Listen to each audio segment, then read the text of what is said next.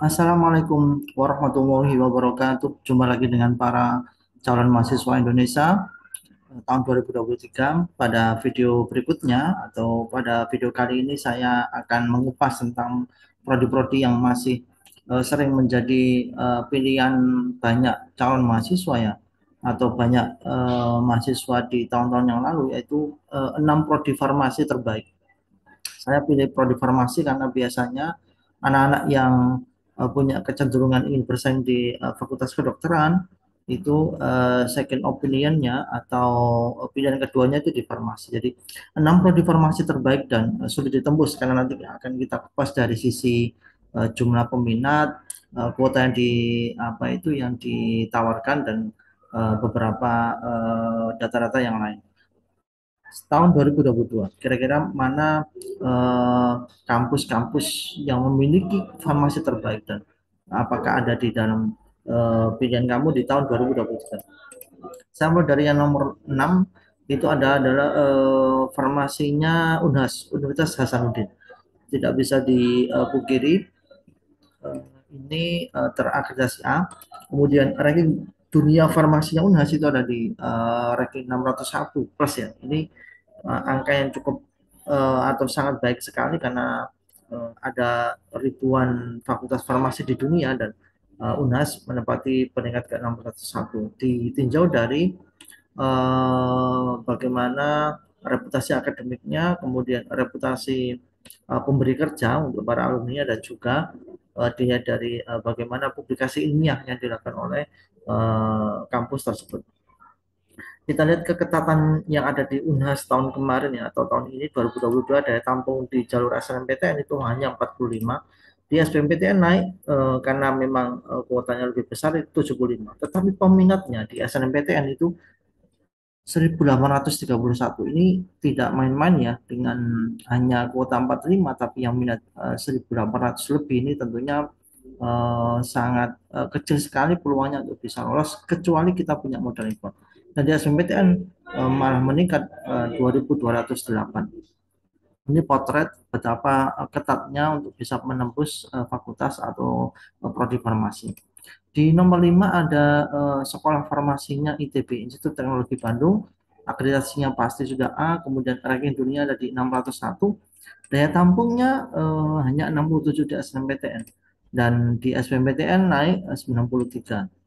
Jumlah peminat SNMPTN itu hanya 595. Kenapa ini uh, tidak sampai menyentuh angka ribuan? Kalau memang uh, pemilih ITB itu pemilih anak-anak yang memang uh, tidak main-main ya karena sekali berani pilih ITB ya harus juga berani modal yang kuat sehingga uh, tidak banyak yang berani bertarung ya karena memang ITB terkenal sangat sulit atau sangat ketat untuk bisa tembus dan di SMPTN naik uh, dua kali lipat 1981 dari nomor tiga uh, kursi yang disediakan.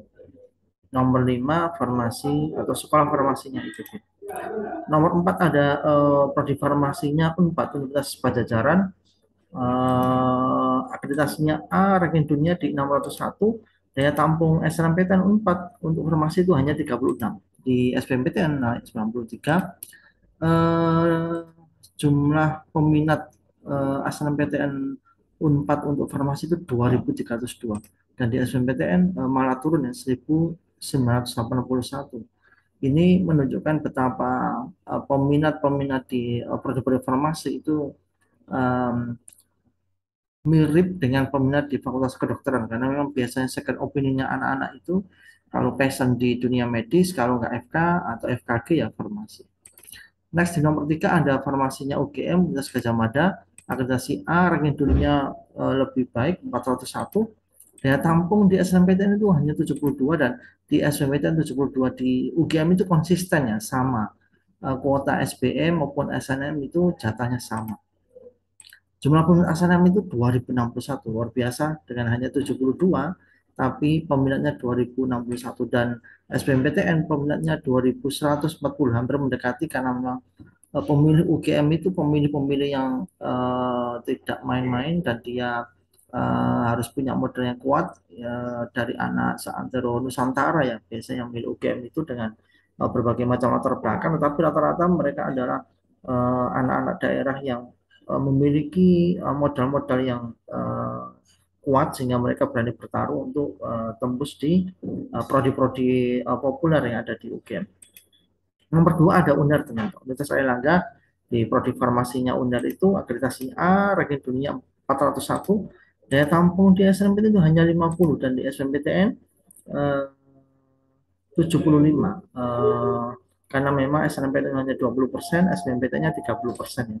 Jumlah peminat di UNER untuk farmasi di jalur SNMPTN atau undangan itu 1425 dan di SNMPTN 1700. Ini juga menunjukkan betapa peminat farmasi itu tidak main-main ya. Selalu ada di atas angka seribuan dan dengan hanya uh, peminat di bawah 50 atau antara 50 dan 75. Ini betapa uh, teman-teman harus bisa menyiapkan diri yang optimal kalau memang menjadikan cita-cita uh, berkuliah di prodi farmasi.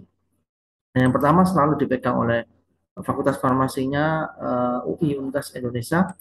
Akreditasi A, ranking dunia paling baik ya, 201. Daya tampung SNMPTN itu hanya 18, bayangkan teman-teman hanya 18. Dan di SNMPTN hanya 27. Uh, jumlah peminatnya SNMPTN itu 370. Kenapa? Karena memang uh, uh, itu kuotanya hanya 18 dan di SNMPTN 721. Ini mirip-mirip dengan UGM, kemudian ITB, di mana anak-anak yang berani bertarung di UI itu benar-benar anak-anak yang memang punya modal yang bagus, punya apa itu eh, persiapan yang matang dan dia yakin sekali dengan usaha dan hasil yang akan diraihnya sehingga eh, mungkin tidak banyak yang berani bertarung karena merasa mungkin belum siap tetapi anak-anak yang uh, di angka ini 370, 721 ini anak-anak memang sudah apa itu jauh-jauh hari menyiapkan diri untuk bisa tembus di prodi-prodi populer, prodi-prodi yang terbaik di Universitas Indonesia. Tentunya ini menjadi bahan kajian kita, bahan wawasan, bahan pengetahuan dan juga bahan pertimbangan uh, di tahun depan. Karena sebentar lagi bulan Desember itu uh, sepertinya launching untuk jalur seleksi nasional berbasis uh, prestasi ya SNDP oleh Kemdikbud. Dan itu uh, waktu yang apa itu tidak lama ya. Karena sebentar lagi paling tidak data ini mudah-mudahan membantu untuk mengambil sebuah keputusan yang tepat, keputusan yang berbasis data dan keputusan yang berbasis hasil penelusuran informasi. Sampai ketemu di video berikutnya. Tentu sangat. Wassalamualaikum warahmatullahi wabarakatuh.